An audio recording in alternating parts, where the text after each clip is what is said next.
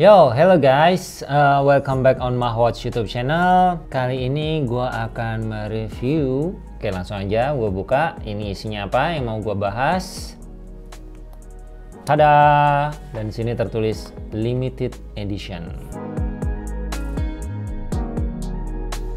Nah, ini adalah Seiko Prospect 1959 Alpinis Recreation dan dia ini kode SKU-nya adalah SJE 085J1. Jadi sebetulnya Alpinis ini punya sejarah yang lumayan panjang juga. Nah, desain ulang ini menghidupkan kembali ya Alpinis tahun 1959 dan e, di setiap detailnya ya. Mungkin sih ya nggak sama persis, tapi dibuat lebih mendekati banget sama versi e, original desainnya ya. Salah satunya adalah e, markernya ini ukurannya gede-gede ya. Ini dibuat sebesar mungkin supaya lebih mudah terbaca. Jadi untuk uh, handsnya, minute hand sama hour handsnya jarum jam dan menit ini juga dibuat sedemikian rupa supaya lebih gampang uh, terbaca. Dan nggak cuman itu Alpinis ini di markernya udah pasti ya kalau yang namanya Seiko apalagi yang model-model seperti ini apalagi di Alpinis yang sebetulnya termasuk salah satu field watch Lumibred-nya pasti ada.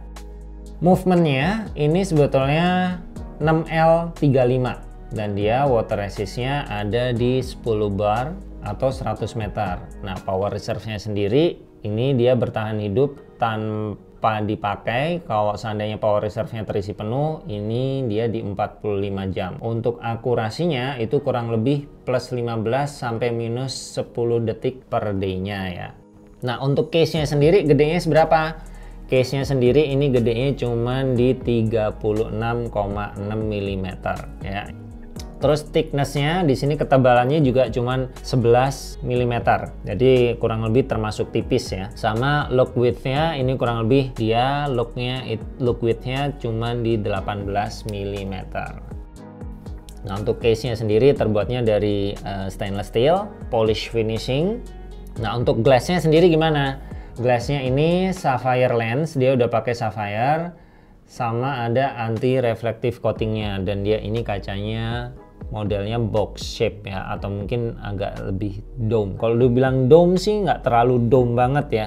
Mungkin agak box shape dikit ya. Ini sebetulnya ideal banget buat yang suka jam model-model versatile. Jadi bisa dipakai dress watch tapi buat field juga oke. Okay. nah untuk casebacknya seperti apa? Bentar kita lihat dulu ya.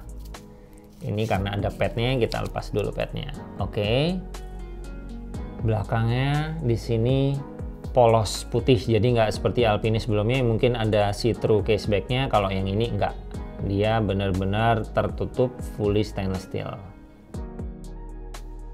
Nah untuk strap materialnya sendiri ini leather. Stitchnya juga keren sih. Stitchnya unik nggak kayak di biasanya. Nggak seperti jam-jam pada umumnya ya.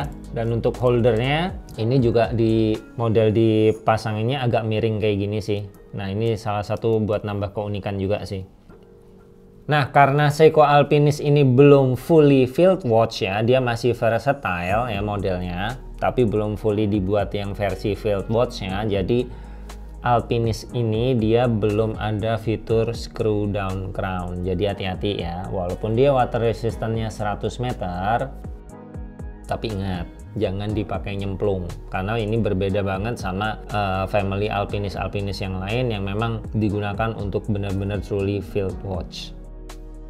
Jadi buat kalian yang kebetulan suka alpinis atau suka Seiko dengan diameter seperti ini dengan model yang versatile robust tapi ideal juga buat dress watch dan punya historical gue rasa Alpinis SJE 085 J1 ini cocok banget nangkring di pergelangan kalian dan di kotak jam kalian dan kalian bisa langsung hunting di web kita di jamtangan.com atau mungkin melalui aplikasi kita di jamtangan.com So, buat kalian para penggemar alpinis, ini sangat highly recommended buat kalian dan wajib ada. Oh ya, untuk dial pad ini sebetulnya supaya apa ya lebih nyaman aja digunakannya. Tapi kalau seandainya dirasa ini terlalu tebal untuk padnya ini juga bisa dilepas ya. Jadi kalian bisa pakai hanya uh, strapnya aja tanpa harus ada padnya oke? Okay. oke okay, everyone gimana? Seiko Alpinis ini menarik kan? Atau ada yang udah ngincer ini dari lama? Well ini masih tersedia di website kita. So jangan uh, sampai kehabisan ya karena ini limited edition. Terus untuk yang baru tahu channel ini jangan lupa subscribe dan nyalain loncengnya. Terus yang buat udah jadi subscriber jangan lupa dinyalain loncengnya juga. Siapa tahu you know kita ada surprise surprise dan sebetulnya supaya kalian juga nggak ketinggalan info-info terbaru dari kita. Oke? Okay? I think that's all folks. See you on the next video and bye